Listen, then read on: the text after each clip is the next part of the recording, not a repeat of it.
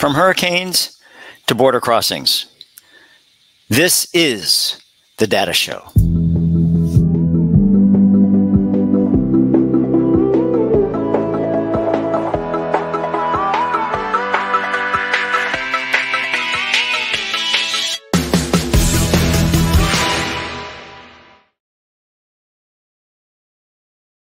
show. My name is Chris Greco. For the next 30 minutes, we'll be talking about data, data, however you want to pronounce it, and how that that affects our lives, basically. So what we have is we have this data mining type stuff that's going on. And the media, and I, I, keep saying this over and over and over again. sorry about smacking my lips, by the way. Sorry about that. Let me get some water here. Sorry.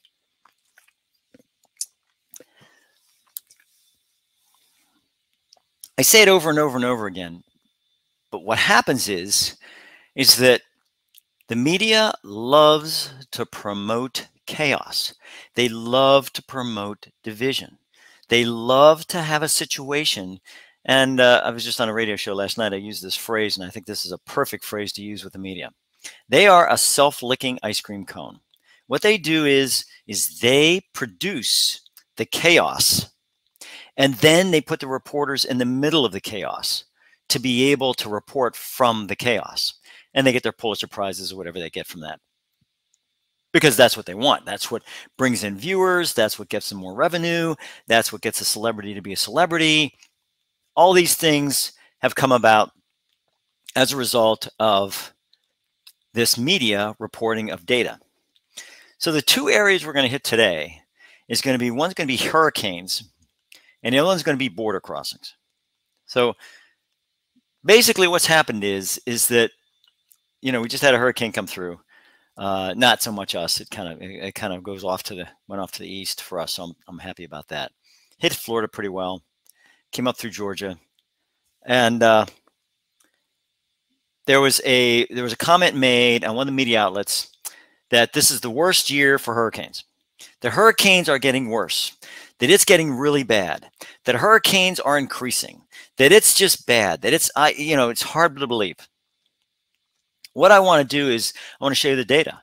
And the data I get is from the National Oceanic and Atmospheric Administration, NOAA, NOAA.gov. So if you want to do that, if you want to take a look at that, it's really easy to do. And all you have to do is go to NOAA.gov and, and put in there hurricanes or whatever you want. And then, you know, we can, we can make that work. So I mean, it's it's nothing that when we talk about we talk about this. There's nothing here that you cannot get a hold of. There's nothing. I mean, everybody sits back and says, "Geez, you get this stuff. How do I get it?" Same way I get it.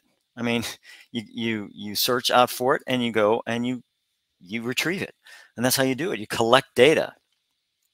Data is not something that just appears. You have to go out and search for it. You have to go out and take a look at it. You have to go out and, and understand it and how it works. And then you have to you have to put it in a display that everyone can understand. So what I did was I went out to NOAA, and I, I love the name by the way. Whoever made that name is really good. So NOAA.gov, went out there and I saw the hurricane, the hurricane area, and I, I put it into a uh, Excel spreadsheet. So I'm going to show you that Excel spreadsheet. And here, right here, this is, you know, uh, I'm going to put this on YouTube also. And I'm, uh, you know, YouTube better not say, oh, this is false news or fake news. This is from the data. I didn't make this up. So this is from, uh, they have what they call a Saffir-Simpson category. One, two, three, four, five. Now I'm going to show you this in a second, but uh, the main thing I wanted to show you was this graph because I think this is um, this is kind of blows your mind. So I'm going to take this, I'm going to actually move this into a bigger area so you can see it. So this is hurricanes. This is the year. Now it's each decade, okay? So it's each decade moving around. So this is 1911, 1921, 31, 41, 51, 61, 71, 81, goes on and on and on. You can see it drops here. The reason, one of the reasons it drops is not, and a lot of people say, oh, that's not a full year. That's not a full decade. Yes, it is. Yes, it is a full decade. This is 2011, this is 2021. These are all full decades. So what they have is, is this is what you have. I mean, yes, 2021, you got an issue because you know 2022 2023 you know that's that, that's that's not a full decade these are all full decades all of these are full decades look from from 2011 to 2020 basically have 19 right 18 14 15 12 you know and everyone sits there and says oh this is you know this is bad. Look at the major hurricanes. I mean from from 7 to 4 from 7 to 4 uh, now you have different categories here. One two three four and five. So how many five categories do you have? Not many. Four categories. Not many except 1941 you had a you had a ton in there. Uh, 1941 you had a ton here too uh, now why 1941 or why that decade between 1941 and 1950? I don't know. I don't know why that is. I mean, I don't know whether that was just a weather anomaly or whatever else. But anybody that sits there and tells me, well, that was climate change. Okay, here it is. Well, climate change went down to three, two, four, four, four, six, one. Come on. Come on. Really? So, I mean, this is a situation where you just got to take a look at it and say, you know, this is this, this is not cool. So that, that's that's what you have here. So what are the different categories? Let's take a look at them. So we're going to take a look at the different categories here. Again, this is from NOAA, National Hurricane Center. NOAA does a great job of this, by the way. Great job. They have all kind of different analyses, everything else. So this is what the categories mean. These are considered major when they hit three. When they hit three, they're considered major devastating damage, extremely dangerous. You know, category one, you know, you're talking about 90 to 74 to 95 miles an hour, 96 to 110. Then you get above 120, then all of a sudden it gets to be bad. Then over 130, that gets to be bad. And then over 150, that gets to be bad. So, you know, you have one, two, three, four, and five. And this is what this is. This is, I mean, I, I have to admit, and I will admit that NOAA is very good, very, very good at their data. I mean, I like I like the way that they do the data at NOAA. That's it really is a very good area. So that's what's happening there. so let's go back and take a look at this again. So remember, anything above three is considered major, right? So you have 64, 28, and 4, whereas minor here, 1851 to 2022, you got 127. Average per decade, 7.4, 4.7, Look at this one 17.7 per decade for all of them. And this one is 5.6 per decade, major. So major, anything, remember, anything above three, right? So that's, that's, and that's how they counted it too. See, five and one is six, one and zero is one, seven and zero, zero is seven. So that's how they counted this stuff. So this is what this is what happens. Now, they even uh, you can get it. By the way, you can get it here. Um, uh, https uh, nhc.noaa.gov, pastdec.shtml. So you can actually get it from from the NOAA.gov website. Now, when you have this, you sit back and you go, geez, what's going on here? Well, there is a caveat to this, and NOAA is very good about putting caveats on this stuff, that anything before 1901 may not be correct. It may not be accurate. So anything 1901 or above should be more accurate. So let's take a look at this for a second. Let's say I did, and this was interesting because what I did was I got rid of all the everything before 1901. I figured I would give it a transparency at this point where I'd sit there and say, okay, um, I will take a look at this and I will make it so that nobody can sit there and say, well, it's, it's before 1901, it's not accurate. Okay, this is 1901. So let's take a, let's still take a look at this. Um, when I have this, uh, I'm going to um, I'm going to take a look at this, and I'm going to take uh, it's linear here. Um, I'm going to um, I'm going to take a look and make sure that I have this in really good uh, there we go. There we go. So what this is here is this is a linear regression line. You can take a look at this. It's not going up, folks. It's going down. It's going down. Now, people might say, well, of course, so last year is really not a year. And that's, you know, what, what are we going to do there? Like, fine. Okay. So what I'm going to do is I will, let me, let me take a look at this and I will go, I'll, I'll take it to only 2011. Okay.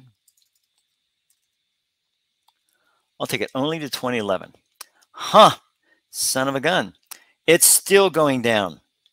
Still going down overall. So, uh, you know, everyone sits there and tells me that, you know, uh, uh, so what about the major ones? Well, the major ones, I'm going to go ahead and, and, make this so you can see it also. Um, we'll go ahead and make this red here so everyone can see it. And we'll make sure we put this dash type to a line. And we'll make, you know, something, we'll put a compound type. We'll put, no, not a compound. We'll put a dash in here. We'll put this one. There we go. All right, so this is the major and linear. What do you see here, folks? Well, I see it going down in the major area and then leveling off here. Again, this is linear, but so it's average between all these. But I mean, take a look at it. I mean, uh, so I don't understand. The media is saying we are in calamity. We are in absolute calamity. Well, not from the data. I don't see it from the data. Now, maybe they know something I don't, which is doubtful very doubtful that some talking head on some news program knows more than I do about what's going on here. But hey, you know, we'll, we'll give them the benefit of the doubt. Yeah, they, you know, they might, they might know something, or they might have a source somewhere that knows something, which I would, I would be more apt to believe. So this is what I'm, this is what I'm saying. This is NOAA.gov. I'm not making this data up. You can do it yourself. You can take a look at it. You can do it yourself. It's no big deal. Really, honestly, no big deal. So this is what this is what is happening here. So I wanted to make sure that you understood where the data came from. I wanted to make sure that you understood that you know these hurricanes as they're coming up, you know, yes, hurricanes are horrible. Hurricanes are horrible. I was in uh, I was in Maryland when uh, what was it? Uh, Isabel Isabel came through. That was horrible stuff. That was horrible stuff. Thank goodness we were based on a hill, so we weren't. Uh, it wasn't going to be a problem. But that gum. There's a lot of flooding, a lot of, uh, I mean, a lot of damage. It was bad. It was really bad.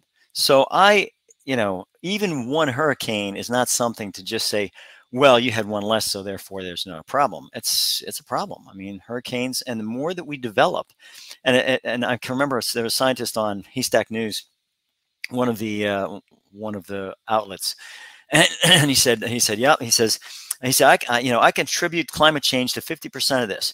I challenge that. I challenge you on that, Mr. Scientist. Show me the figures that shows that 50% of hurricanes are as a result of climate change. I want those figures. I want to know that. I want you to publish that. And I want to take a look at that because I don't believe that. There's no way that you can sit back and unless somebody has finally defined what climate change is. Because remember I talked about data in the beginning of this whole situation, beginning uh, in beginning of the of the uh, of the uh, uh, the entire show, and I said the number one thing that has to occur before anything else within the data realm has got to be definitions. If you, I, I don't see one area, I don't see one definition of climate change out there. I see a bunch of thrown out stuff, you know, contrived stuff, but I don't see an honest to God, no kidding definition of climate change. Give me that definition. Give it to me. I want to know what it is. I want to know not, not just your definition. I want to know what the definition is. What the definition, and then and then sit back, and then I can sit back and I can say, okay, this is what the data shows in relationship to climate change. But don't sit there and keep using climate change like it's this, you know, beautiful and on all glorious type of uh, definition that anybody can use. I can use climate change. It means totally different to me what it may mean to somebody else.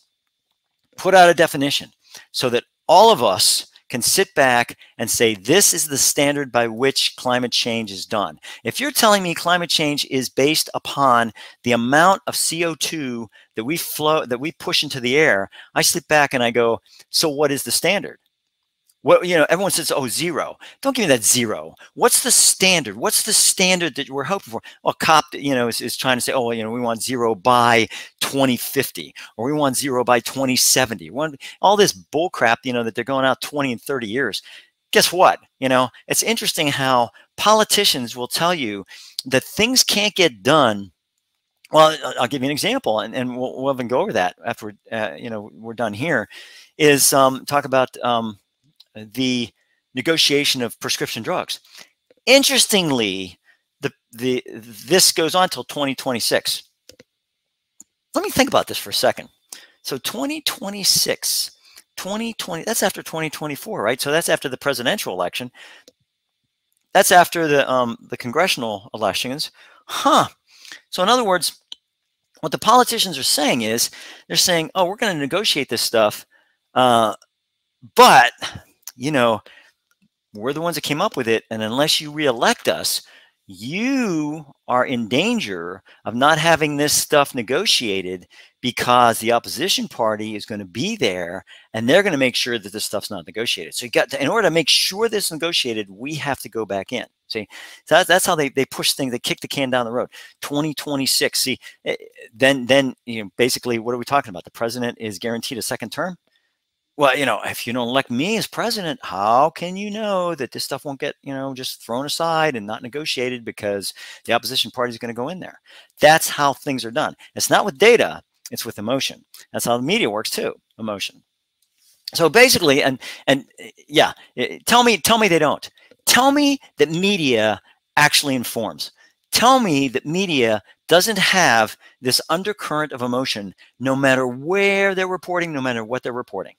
It's undercurrent of emotion. And I love the talking heads whenever they talk, whenever they edit. Uh, they, they put on an editorial after the, the, after the reporter is done. Instead of saying, thank you, Sam, to our next story, they have to say something. Oh, this is really a shame. Or, wow, this is really, I, you know, I don't need to hear that. Move on to the next story. You know, shut up. Just move on to the next story. I don't need your, your feelings on what this reporter just reported on. They just reported on it. They don't need any additional information like what you feel. Move on to the next story. So it's it's that type of thing. Sorry, I'm on my soapbox. So um, that's hurricanes, and now let's talk about um, border crossings. Very, you know, this is this is really interesting when it comes to border crossings. I think because because we sit back and we go, uh, you know, okay, you know, what are border crossings? So the um, what they have is they have what they call nationwide encounters, and you get this from uh, this is the nationwide encounters. I mean, from from 2020 all the way through, right? Nationwide encounters, a lot of nationwide encounters, you know, and it's from Title 8 and Title 42. So there's a lot of them, uh, and basically apprehensions or expulsions, and they they go through, and then they go through Title 8 or Title 42. Now, what's Title 42? Title 42 was put in place during COVID because it was a national security issue. They're bringing in people that were sick. They didn't want that, so they they expel they they they expelled them. You know, that's 2023. So as of you know fiscal year to date, still October. Um, you know, it's funny because they have October. they have October uh, 2023, which is like, yeah, there's no October 2023. So um, that's that's interesting. I think it's fiscal year to date. I think that's exactly what they're talking about here. So they have. Uh, uh, what I did was I took this stuff and what I did was I put it into a pivot chart. And I put the apprehensions uh, by year and then the grand total uh, by state. Uh, when you do a pivot chart, you can do all kind of different things with this. Uh, title of authority. Uh, so I put uh, title of authority here that I can do. Um, in fact, what I can do is I can actually add a slicer so I can do title 42, title 8. Um, so that's interesting because it should show up that way. Um, well, I am not going to sweat that. Oh, I'm sorry. I put that in the filter. Oops, sorry. We got to include it all here. And we are going to kill that. And encounter type apprehensions. We can filter that apprehensions, expulsions, and admissible. So I just put apprehensions at this point because that's that's basically what's going on there. Uh, I can put all the different states in, which is cool. So I'm going to take this off, and then I'm going to put title of authority. I'm going to as a slicer do title 8 title 42, title 8, and that does not work. Okay, so what I'm going to do is I'm going to take encounter type out. I'm going to put title of authority in. And then what we're going to do is we are going to take this slicer out. We're going to put this here. Oh, this way I have no values. Whoop. Okay. Okay, here we go. So now um, I have the, the count of the title of authority. Uh, so this is title 8, and this is title 42 here. This is how many people were, were expunged, you know, expelled, whatever you want to call it, whenever you talk about these areas. So as you can see, it's it doesn't look like it's all that bad. I mean, 10,000 people, you know, over the over this over this area. So um, I have a feeling, and it didn't say so in the in there, but over a period of an entire year, um, uh, you know, over a period of this many years, I have this funny feeling that this is in thousands. So I think probably it's 10 million is probably what they're talking about here. But um, that mean that was that was 214,000, which just seems to be a little bit much for me. So I don't think that's the case at all. I think this is all Title 8 and Title 42. I think is a small number um, when you talk about expulsions, you talk about all these areas. So, I mean, because we're talking here uh, 61,000 people that have been basically, uh, you know, expunged, uh, expelled, or uh, apprehended, or whatever else in that area between 2020 and 2023, fiscal year to date. So that's how many you have. So, I mean, if you talk about this fiscal year to date, there's 135 total in um, in Alaska. They have 136 right now. So, it does it look like it's going up? Well, you know, Arizona, it's not, and that's that's a big one, right? Let's go down to Texas. Texas, they went down, but of course that's fiscal year to date. But they've gone up from 2,999 to 4,014, 4,414. So I have 15,000 just in one state. So I mean, this is how you use data. This is how you get data. This is how you use it. It's you know, and it kind of gives you at least a feel as for what's going on with this entire area because I think that's I think that's the important part of it all. So um, uh, this is where I got it, uh, cbp.gov nationwide encounters. So if you want to do that, this is what they call claims of fear, and you can see the claims of fear uh, from fiscal year 19 was 977,000 of total claims of credible credible fear apprehensions and admissibles 146,000. So that's what people that were claiming, you know, uh, credible fear. So I, I, thought that was that was interesting. And then this is something that was brought up uh, in the uh, in Politico. Uh, was it Politico? Uh, it was NBC, where they were talking about, hey, you know, uh, number of undocumented immigrant crossings, illegal immigrant crossings at the southwest border. Uh, 2022 top 2.76 million, breaking the previous annual record by more than 1 million, according to Customs and Borders Protection data. Now, this was October 22nd, 2022. Then all of a sudden, you know, miracles happen. In July 18th, it says they plunged in June to the lowest level since President Joe Biden's first month in office. Illegal border crossings. At least Politico calls it for what it is, right? And you sit back and, you know, border officials apprehended 99,545. And the White House is touting this, and saying, oh, you know, this is this is not good. So go to the data, you know, go to the data and and see what's see what's happening with that whole thing. So I think that's really important from that.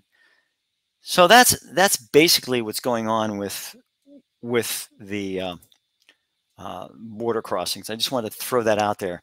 Take a look at the data. Take a look at the data and find out for yourself what's going on. Don't sit back and let the media, you know, figure out where you're going with this. I think that's really, really important. I mean, I can't tell you enough. Don't. It's not don't listen to the media go ahead and, and listen to them, and that's okay. But I'm telling you, Haystack News, get that. It's so much better. It's got so so many more you know international uh, choices. It's got you know DW. It's got Euronews, France 24. It's got all kind of different uh, media outlets, and they are so good. So much better, and they present data and you can you can go ahead and do that. In fact, one presents data on or stories and how some of the data is misused. Some of the data is actually false, you know, and, and they go through that and how that how that all works, which I thought is called the cube. It's really, really good. So I highly recommend it. Not that, you know, I mean, you may not think my recommendations don't mean much, but basically that's what that's what that's what I watch and I really enjoy it and I get a lot out of it. So on that note, I'm going to go ahead and cut this off. I really, really appreciate everyone watching it uh, and watching my uh, diatribes. I appreciate that too, even though it's, you know, probably shouldn't do them, but I, I enjoy it. So by all means, take a look, the things we looked at today, uh, which was hurricanes. Go back, take a look at them, and the border crossings and take a look for yourself and see is that true what they're saying? Did it dip to the lowest level? You know are all these things just media hype or are they true right? Is it credible or is it contrived? That's that's the whole theme of this show. In the meantime i tell you as i tell everybody at every show take care stay stay healthy and by all means check the data